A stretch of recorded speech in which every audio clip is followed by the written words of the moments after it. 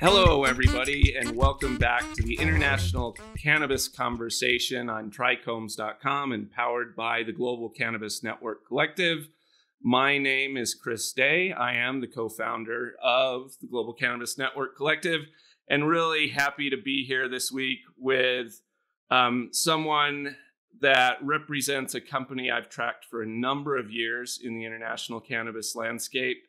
Um, a couple of weeks ago, we talked to folks from uh, Brightfield who had co authored a report on European markets back in Q4 of 2020.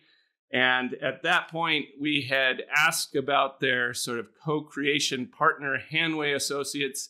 And today I'm talking to the CEO of Hanway, um, George McBride thanks so much for coming on. Um, I'm really interested to hear sort of your perspective on the European markets and the work that you guys have been doing. Um, but George, I, would love to first hear a little bit in your own words about Hanway because you guys are engaged in policy and license consulting, and you put out a ton of reports and information to educate people. Um, how do you describe Hanway? Because to me, you're a big umbrella. Yeah, um, well, that's a very apt analogy, and we'll get into that. But um, thank you first for having me on the show, Chris. Really appreciate it. Love what you're doing, and really happy to be a part of it. Thank you. Um, so yeah, that, that umbrella thing is a, is a good place to start, really, with Hanway. So I met my co-founders, who are a, a guy called Alistair Moore, who's a creative, and a scientist called Dr. Henry Fisher and we met on a small street in London called Hanway Street, um, which is a little back alley that links Soho to an area called Fitzrovia, and is full of interesting little bars and interesting little companies. Um, and we read into the kind of history of the street a little bit, and um, it's called Hanway Street after a guy called Jonas Hanway, who was uh, notorious for being the first gentleman in London to uh, carry an umbrella. And at the time that he did that, um, umbrellas were seen as things that were for um, prostitutes and Frenchmen.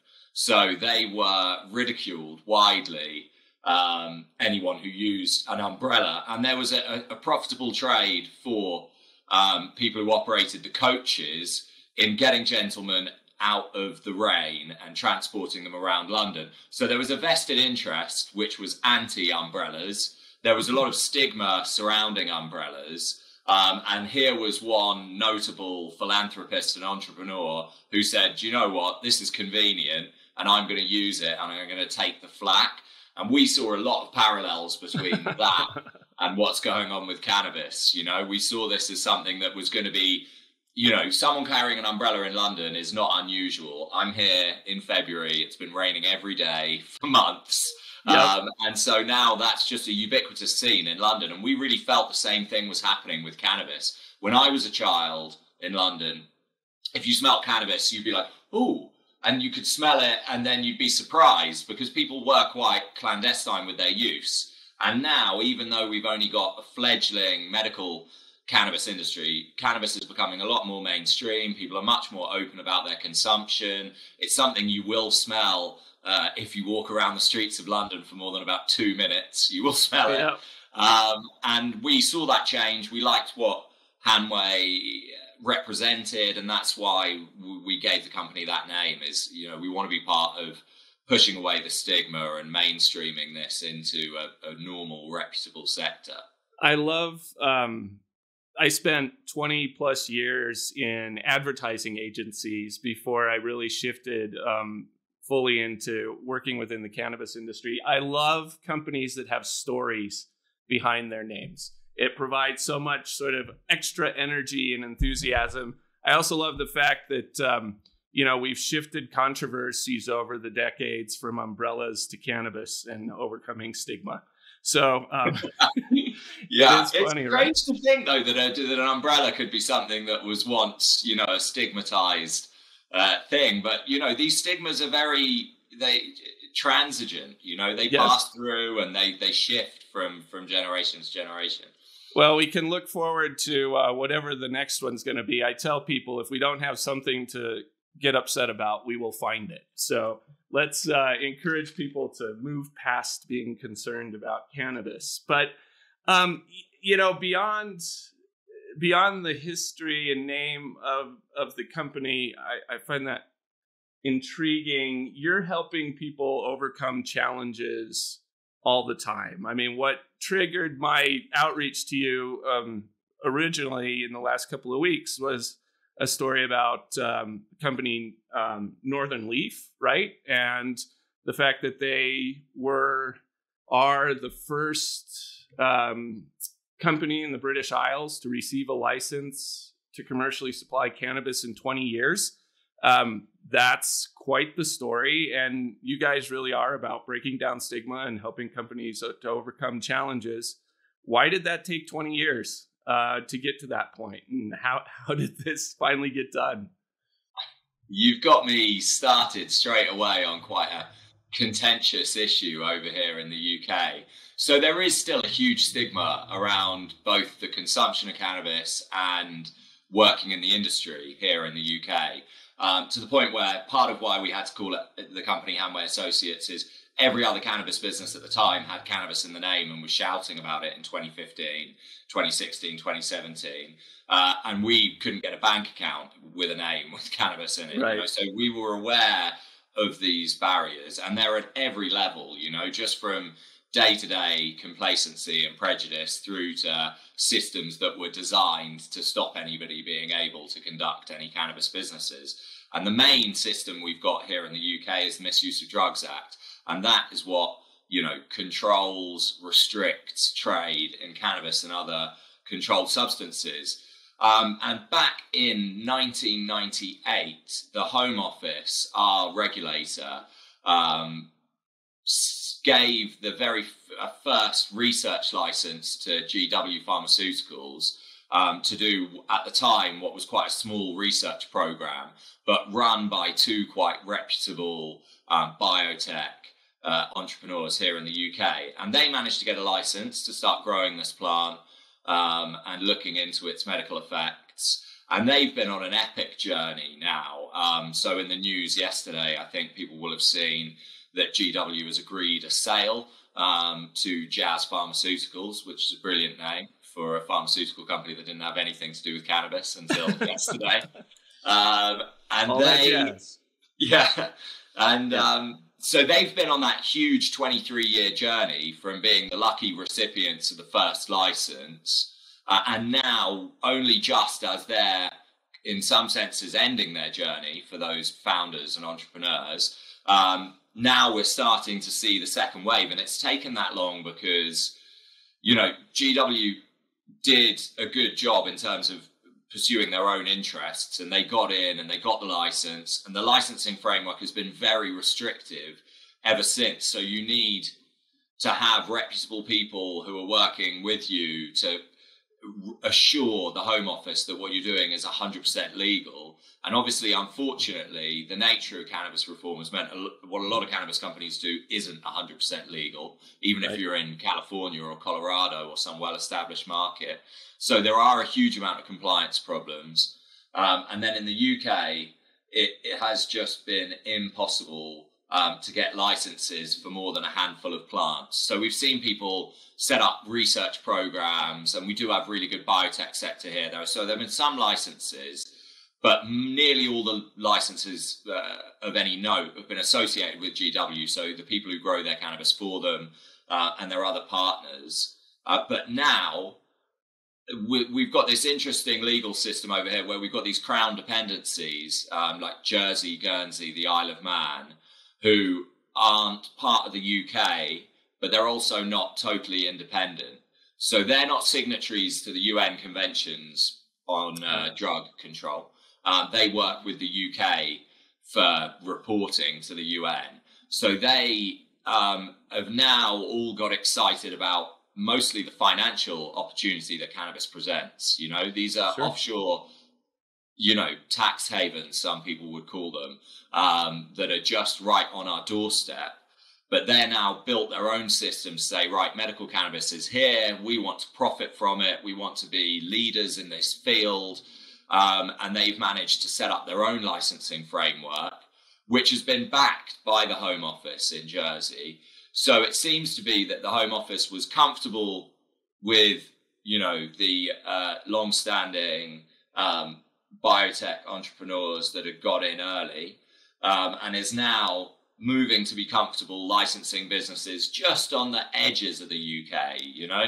Yeah. Um, so this is the beginning. The Isle of Man will be setting up their system properly soon, and we'll see more licensed operators operating on the fringes of the UK um, as this is sort of slowly creeping its way into to, yeah. to mainland. You know, I, I have two questions out of that. One is sort of a um, just a verbiage question. When you're talking, for those who aren't necessarily fully aware of sort of the governmental structure and all that, when we talk about the home office, um, we're not talking about someone sitting in their living room because of the pandemic. It is um, instead sort of the regulatory body is is our understanding. Is that correct?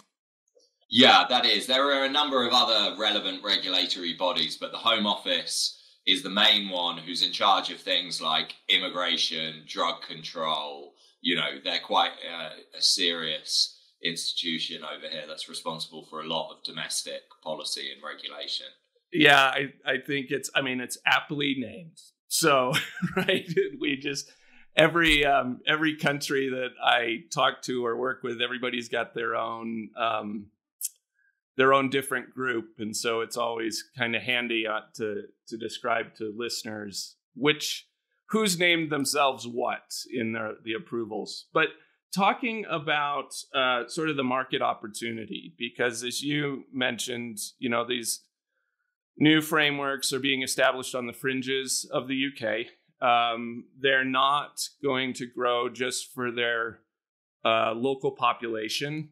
So the what is the plan? Like, how do you make money if you're cultivating um, on the Isle of Man or Jersey? Uh, what's the what's the long game to make sure that you've got markets big enough to actually sustain your operation? Well, that's it. So that's quite an interesting challenge for companies like Northern Leaf. Northern Leaf, obviously, in a great early mover position, having secured the first license. Um, and we were very happy to, to help play a small part in that for them. Um, but they have a, a, a, mammoth task ahead of them because, as you you rightly noticed, they have to not only supply these markets but help them open up, um, and that means uh, that they've got a much wider role than just you know manufacturing these medical products and and wholesaling them. They have to work with their distribution partners, their um, clinical partners, with everybody who is helping try and improve access to medical cannabis to open up you know this market. And th- there is a great opportunity there because we have millions of people in the UK using black market cannabis for medical conditions. So there is already a you know an active market there. It's just that they're obviously procuring that from the black market. So the UK market is growing very rapidly from very, very small when it first started in earnest in, in 2019, a handful of patients, to um, very slow start 2019, 2020, but now um, forecast to grow very rapidly this year, even by the UN is now, I think, forecasting 2.7 tons of legal cannabis consumption in the UK. So Jersey has a market there. You know, there's going to be 2.7 tons of product that need to be supplied to UK patients. We might have around up to look around 20 tons that need supplying to the German market. Um, and then, you know, you've got another up to 10 tons in various other legal um, European markets. Now, that's quite small, obviously, if you're looking at this comparatively to, you know, the scale of the opportunity as, as adult use is regulated in New York or something like that. But there is a viable market there. And the interesting thing is that that potential is huge because of the tens of millions of people who are currently accessing these black market products and just need the you know education and support to help understand how to access this through legal channels And just last point on that is that UK based business EMMAC um, who are doing very well, have a very competent team. They're now undercutting the black market in their prescriptions to UK patients. So there's an incentive now that's only been there for a couple of months, which is not only, you know, you could get better stuff through your doctor, but actually here saying not only is it, you know, potentially safer um, and, and certainly there's more, you know, evidence around its safety, it's also cheaper. Um, and that's something that some of these suppliers can be doing. So that's a, a great change for, for people in the UK that you can actually get it cheaper from your doctor than your dealer. Yeah, the laws of economics, if they can work in your favor, tend to tend to be really good for expanding legal markets, right? If you can price it, uh, safety and price all through legal channels. Why wouldn't you do that? There's always going to be yeah. somebody who won't, but um, it certainly crushes black markets quickly um, when you can do that. I think you know I'm I'm based in Denver, Colorado, and so when you look at the prices here versus what are frequently seen as overregulated markets like California, much smaller black market in one state than the other, simply because people are going to search out the best deal. So, um, yeah. What's what? Go ahead. Sorry, Chris. No, I was just going to say I think found that Colorado that's quite fascinating, and I saw the rebound in. Um, you know, wholesale prices are much stronger now in Colorado, and they're managing to maintain low prices for customers, decent margins for the producers, and it seems to have stabilized and become um, something that's a really good business. And I think a lot of people kind of laughed off cannabis, saying, "Oh, it's going to be you know pennies to produce a flower, and there's no money in in growing cannabis," and that hasn't been the case in Colorado from what from where I'm sitting. Uh, no, and I mean as you look at states and countries and everything, I always find it interesting. Um, you know, when we create these markets within silos, um, and you don't have the free trade across countries that you might want, uh, or states um, or provinces, depending on where you're at. Um, it's an interesting test in in microeconomies, really, that we can develop that way. Um, I think all all things change uh, when you have federal legalization in the United States, and then you have the expanding cultivation regions happening in places like South America. Right, um, we get front row seats to sort of the changing dynamic. I think over the next couple of years, when you go from siloed markets to more global markets. Um, I'm excited to watch it. I think um, there's a lot of people who don't quite aren't ready, but they will just have to figure it out as it comes, right? Yeah. Um, and let's see how soon that'll be. Who knows? With the incumbent government, we might actually have some reform. Yeah, I think we'll get some reform. What that looks like um, is still to be seen. But back to let's let's look at Hanway a little bit more and sort of look at our crystal balls if we can. Um, and the nice thing about crystal balls is we can always claim they're a little hazy. So if we're right or wrong, um, it's okay. So it's just speculation at the moment. But from Hanway's perspective, what um, what do you see as sort of the near term future for the UK, but then also um, Europe as a whole? And um, you know how that market's likely to interact with places like Israel and Africa as all of this emerges. Yeah, great. So w- w- there's some interesting stuff going on at the moment. Like I said already, we're now seeing prices lower in the legal market than the black market. We've now seen the national, uh, you know, a national police association backing a decriminalization campaign, basically, which is issuing uh, cannabis cards to patients so that they won't be prosecuted. So what we're seeing at the moment is this kind of wave of de facto decriminalization, so much less um, punishment for people using cannabis. Meanwhile, we're seeing a much better understanding from patients that actually, even though prices were very high in 2019 and early 2020, now now they can uh, move over. So we're expecting rapid growth of the UK medical market over the next few years. Um, and the how that will be supplied is still quite an interesting question. Even operators in Canada have really struggled to supply European markets because of the demanding pharmaceutical, you know, compliance standards that you have to adhere to. Um, and I was doing a bit of crystal ball gazing a good few years ago at a lift conference, I think in 2016, 2017. Mm. And there was a lot of people um, saying that the whole European market was going to be being supplied by these huge greenhouses in Canada. And I, for once, was accurate and said, I don't think that's going to happen. Um, and lo and behold, a lot of those facilities that they were talking about are now shuttered or they're growing leafy greens or bell peppers or whatever else. And yeah. a, a, lot of that didn't happen. And that rapid globalization of the supply chain really hasn't happened in the way a lot of people were touting it. But I think a lot of that touting was, you know, stock promotion and people uh, pursuing their own interests rather than a lot of legitimate feeling that there was going to be a big globalized medical cannabis supply chain. The reality is it's that local operators know the regulations better, they know the market better, and they end up producing the product that the market wants. So, you know, Bedrocan ends up doing very well in Europe, EMMAC ends up doing very well in the UK. These are fairly obvious things that, you know, people yeah. operating in their own country know their own market. But I'm expecting as a result to see some success in these um, you know, offshore cannabis farms in the UK that's supplying the UK market and other emerging European markets.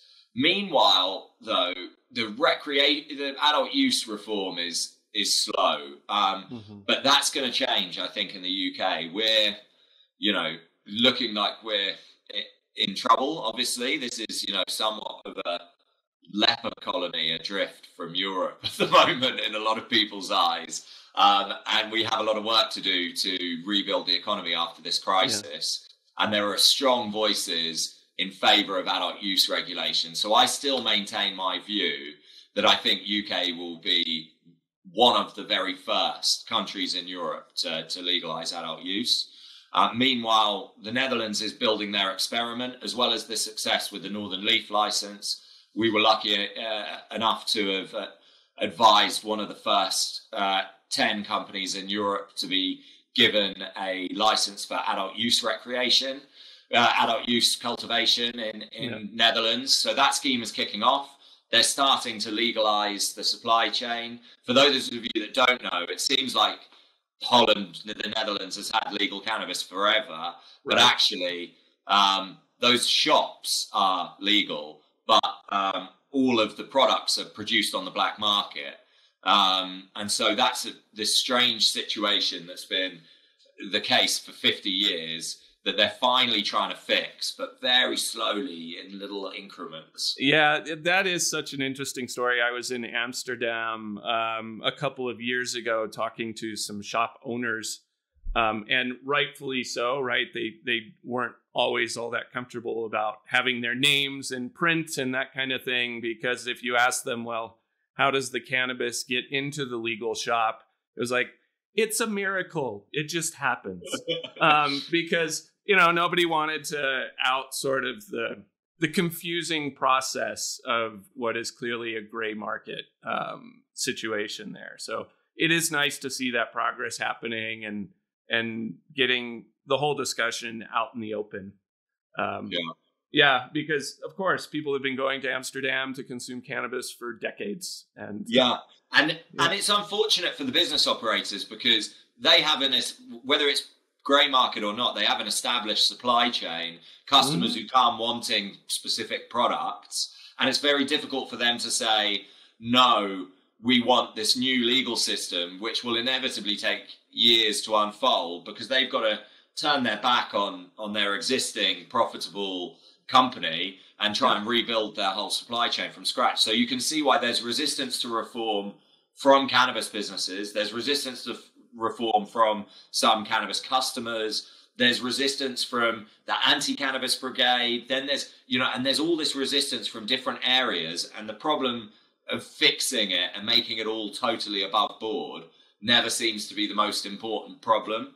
Um, so, but finally, it's happening, and so what we're seeing is the first ten fully legal adult use European businesses, which is huge, you know, because once it starts, then that's when the, the ball starts rolling and gathering pace. Right. So we're at that beginning right now, you know, and that literally happened a few weeks ago. So it is the beginning of the adult use opportunity in Europe.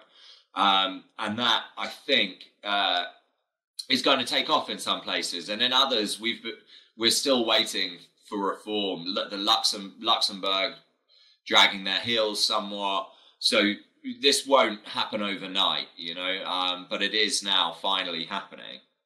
Yeah, well, I'm I'm glad it doesn't happen overnight because you know this this podcast is only every week, and so it takes me some time to get around to everybody. But um, it, it's going to be an interesting region, of course, to watch. And um, I I do tell people that in many ways, as I talk to companies in Europe, um, it it gives me hope that we can establish globally sort of uh, recognized quality practices, safety practices, that there are countries really focused on the pharmaceutical aspects and benefits and educating people in the research. So it's it's coming along slowly, but you can see the benefits of establishing these pilot projects um, that each con- country is doing because you know in north america it's frequently just throw it against the wall and see what sticks and we'll figure it out as we go which um, is one way to do it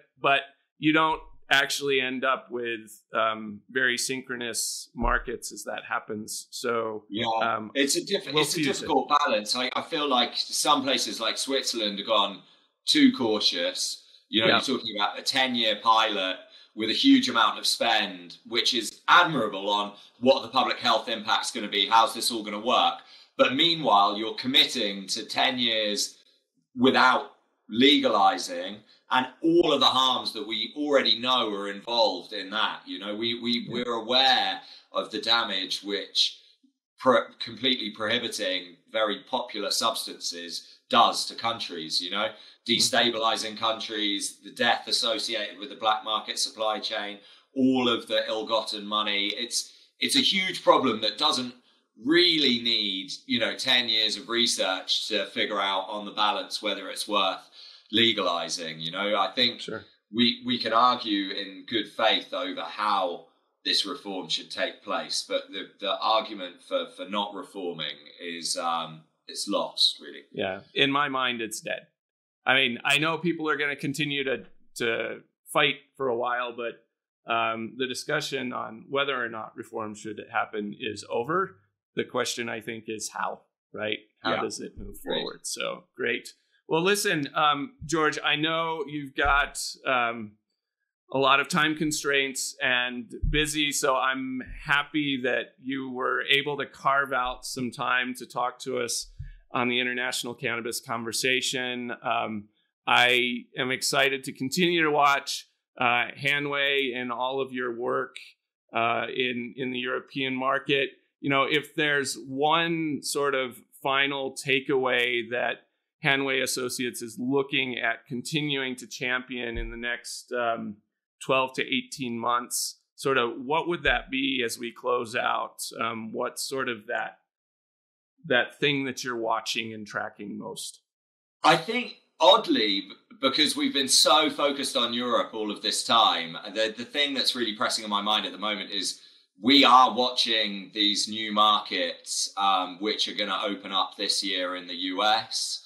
Um, we're very interested to get involved with businesses who are going to be, you know, uh, operating in these new markets. And it seems like the time for building like real international cannabis companies is is finally upon us. And um, if there's anyone you know out there in the US who needs to better understand how to operate businesses in Europe or wants to be partnering with European businesses for US operations, speak to us and um, our eyes are really turning turning state wise this year to um, see this tremendous wave of reform that's coming over there over the next 12 months. Yeah, well, being in it, I am also anxious to see how that plays out. And I know um, the of GCNC members that we have as part of that organization, there are a lot of companies that, of course, are focused on uh, what those steps are going to be. And I should probably take an episode here in the next couple of months to talk about that interactivity um, as as we move in that direction. Um, so thanks for that, and thanks again for the time, George. It's been great talking, and um, I think we're going to probably try and have you back on here in a couple of months as things continue to evolve. Um, it'd be great to to dig into that discussion on the interactivity between Europe and North America and everywhere else as well. So, um, thank you. Thanks to all of our subscribers and listeners out there. Um, please do continue to tune in to the International Cannabis Conversation, and we look forward to talking to you next time.